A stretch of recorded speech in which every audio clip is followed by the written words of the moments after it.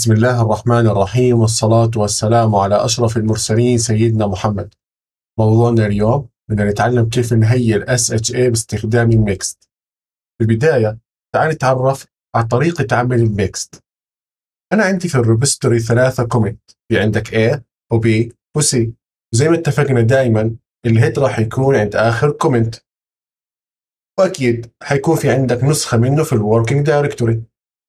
بدنا نسوي هسه انه أنا بدي أرجع لل commit A. إيش راح يصير؟ راح نستخدم هذا الامر هو اسمه git reset mixed SHA معنى كلمة ميكس يعني مختلط.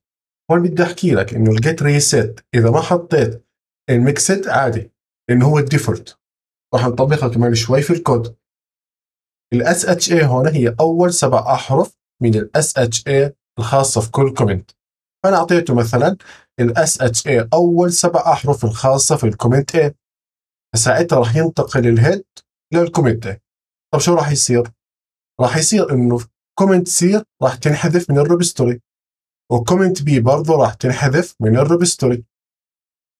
و commit A راح تنزل على ال stage area بعدين من ال stage area راح تنزل على ال working directory. في نهاية تنفيذ الأمر أنت راح يكون عندك كل ملفات A نازلة على ال working directory. وأكيد انتبهت إنه ملفات ال C ما انحذفت. مش اتفقنا إنه ال C هي آخر commit كانت عندي. ارجع بالفيديو شوي لورا. هتلاقي إنه ملفات ال C هي كانت مرفوعة آخر إشي. فمعنى كلامي هذا أنا رجعت على ال commit A وحذفت كل ال commit ات اللي كانت بعديها. لكن ملفات ال A كلها نزلت على ال working directory. يعني لما أسوي هسه git status راح تشوف إنه صارت كل ملفاتي في ال working directory لكن ما انحذف الكود يعني آخر نسخة أنا كنت رافعها اللي هي ال C موجودة عندي. خلينا نحكي إنه إحنا تعلمنا 50% من الفكرة. خلينا نطبق بشكل عملي عشان تفهم الفكرة 100% نفس المشروع اللي إحنا شغالين عليه هو ال project بدي أسويه بدي أروح على ال work وأعمل كمان تعديل. واكتب task 1 save. واطلع من الملف. لو عملنا git status بحكي لك إنك أنت عدلت على الملف اللي اسمه work git add git commit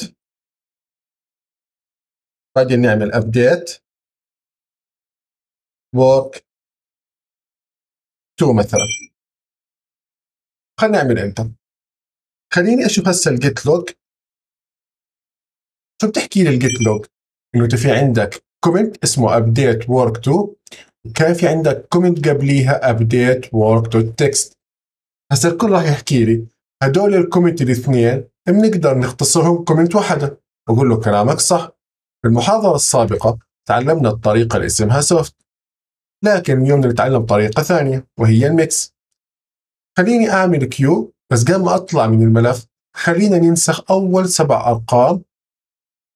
هي اثنين. أربعة ستة سبعة.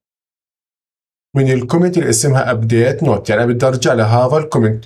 update work و update work 2 ينحذفوا من ال repository هاي Q git reset double dash mixed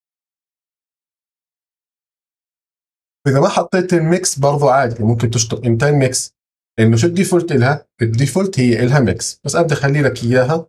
عشان تكون الفكرة واضحة 100%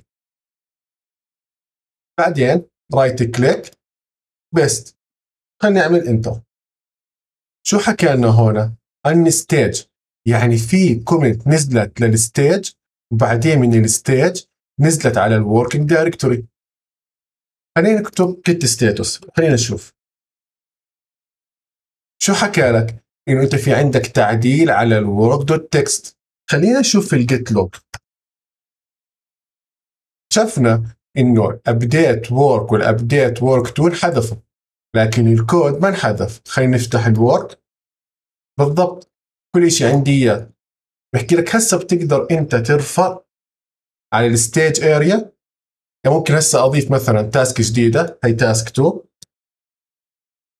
save. هسه بعمل git add و git commit.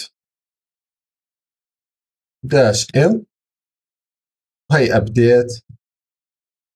work اللي عملناه إحنا هسه كل ال commit اللي كانت تركز على ال update work تم حذفها والكود كله لساته عندي إياه في ال working directory وضفت كمان على ملف ال work وهسه بدي أرفع كل التعديلات اللي سويتها سابقا ب commit واحدة.